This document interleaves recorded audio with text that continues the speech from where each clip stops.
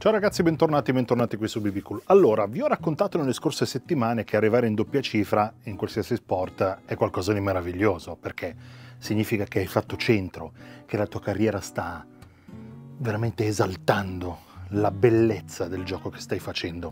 Pensate ai capicannonieri, eh? più di 10 gol. Pensate al basket, si va in doppia cifra, magari doppia doppia, magari tripla doppia. Eh? Ci siamo capiti, no? Allora, oggi però noi non parliamo di sport, peccato o per fortuna, a seconda dei vostri punti di vista, ma parliamo di carne e soprattutto parliamo di macelleria Santa Lucia. Tanti auguri. Arrivano 10 anni dalla nascita del 2013, 25 ottobre e solo per oggi in tutti i punti vendita meno 10%, ragazzi, andate a farci un salto.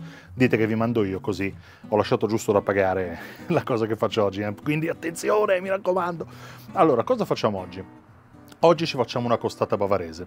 Della costata bavarese parliamo dopo, perché ve la faccio vedere lì che mi sta guardando con un grasso di coperta che dice ma mangiami cruda. No, ma noi non la mangiamo cruda.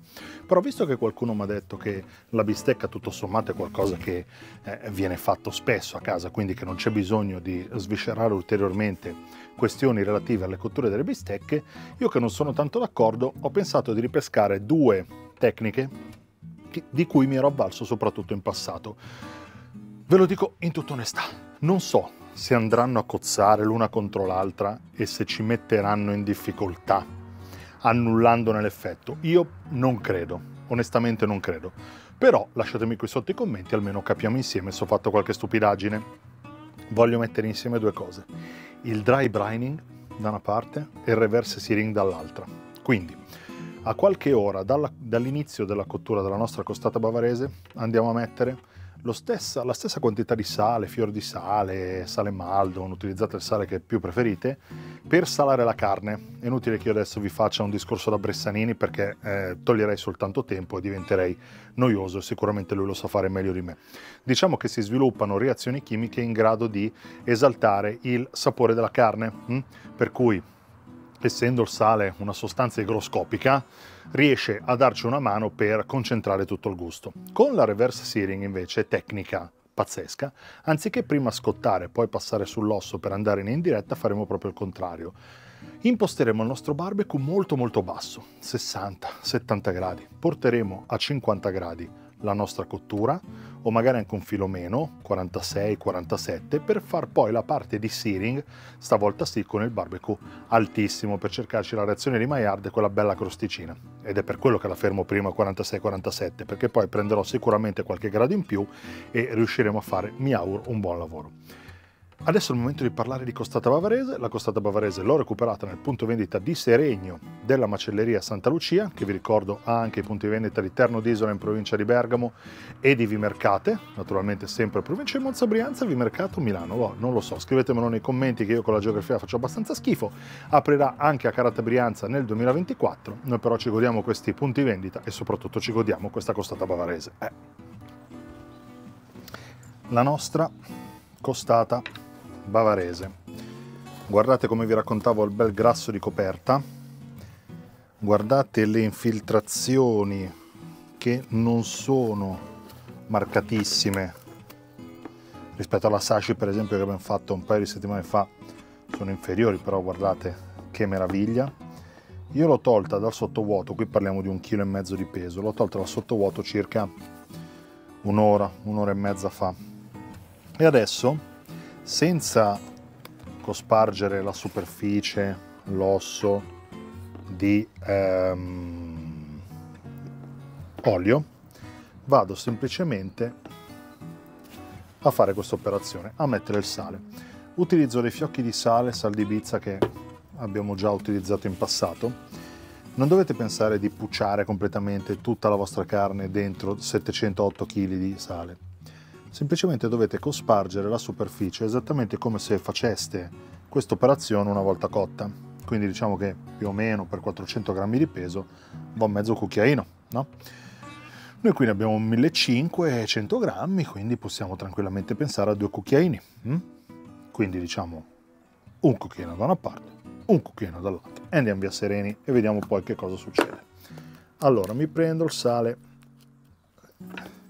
delle Baleari vediamo un po' se riusciamo a non fare una stupidata ecco possiamo anche abbondare un po' eh? iniziamo a mettere il nostro primo strato naturalmente sto andando abbondante eh? forse più abbondante di quello che farei con una salatura normale a fine cottura però considerate anche lo spessore della mia carne hm?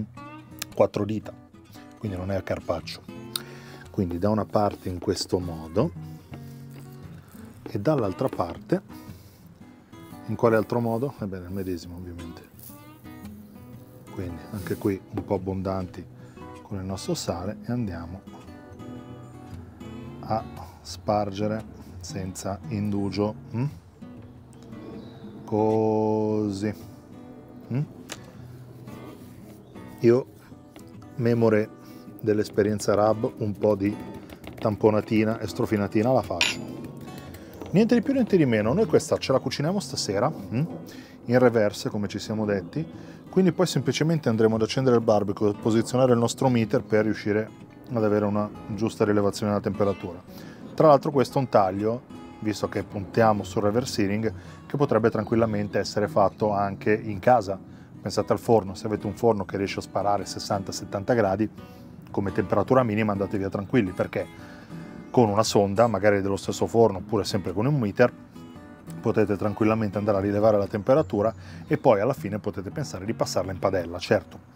Sul barbecue naturalmente nelle ore di reverse searing se utilizzate un barbecue a carbone prende anche l'aromatizzazione del carbone stesso, però volendo, visto che il tempo intorno a noi non sta esattamente promettendo molto di buono, potete anche immaginare di andare direttamente nel vostro forno cosa che noi non faremo stasera, ma che faremo con le prossime cotture di macelleria Santa Lucia, però Intanto ci godiamo questa bavarese.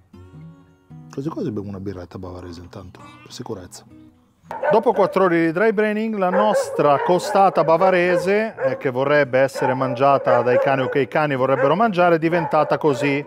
Abbiamo già messo la sonda del meter e sono contento perché ritroviamo il Broil King Regal Pellet 400. Noi adesso andiamo fino a 85 gradi, mettiamo la nostra bisteccazza, anzi la mettiamo subito, tanto non le dà fastidio, e la lasciamo andare dimenticandocene, o meglio di no, o meglio no perché abbiamo il meter, e poi quando l'avremo portata a 50 gradi, 46-47 come ci dicevamo prima, alzeremo la temperatura a go go.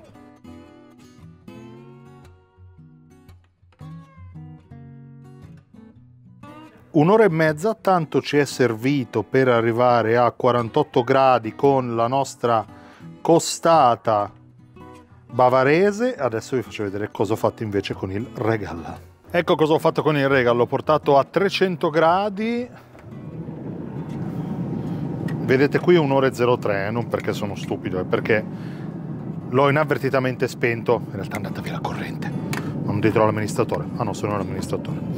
300 gradi. Adesso andiamo semplicemente a segnare, a trovare la reazione Maillard. La differenza di questo, cioè o meglio, la caratteristica che contraddistingue questo prodotto rispetto a qualsiasi altro barbecue a pellet è che puoi anche grigliare. Cerco di portarvi un po' più vicino. Anzi, per portarvi più vicino faccio così, faccio prima, scusate. Eh. E che cavolo. Datemi un secondo che correggo. Ecco qua. Ovviamente come qualsiasi barbecue in cui andiamo alti con la temperatura abbiamo qualche principio di fiamma ed esattamente come qualsiasi altro barbecue chiudiamo, mi scuseranno gli amici di Broil King ma non l'ho ancora pulito o meglio l'avevo pulito poi è cominciato a piovere, grande classico. Adesso facciamo semplicemente andare per un paio di minuti per lato in modo tale da avere una bella serie di grill marks lo andiamo ad aprire naturalmente si alza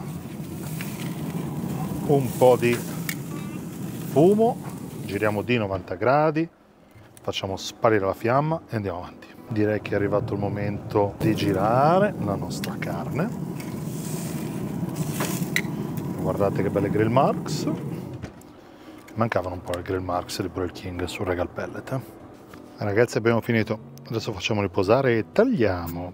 Allora, ragazzi, ho litigato con eh, i fili della mia prolunga. Sono ancora infatti in una situazione abbastanza complicata, non ve lo nascondo da un punto di vista di gestione della luce. Eh?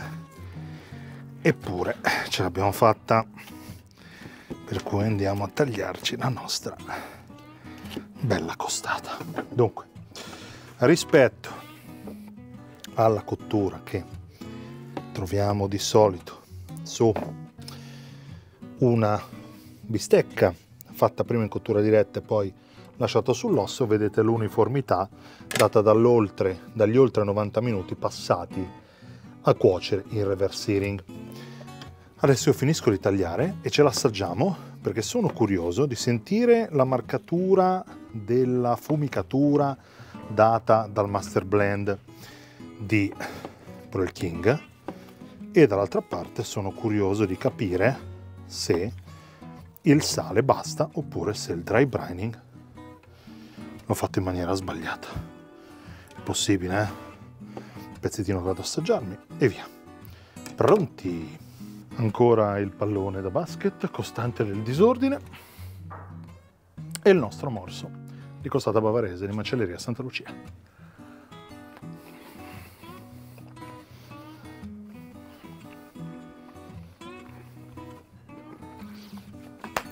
Cavolo, dentro non ho detto che ho fatto il dry brining, state lì.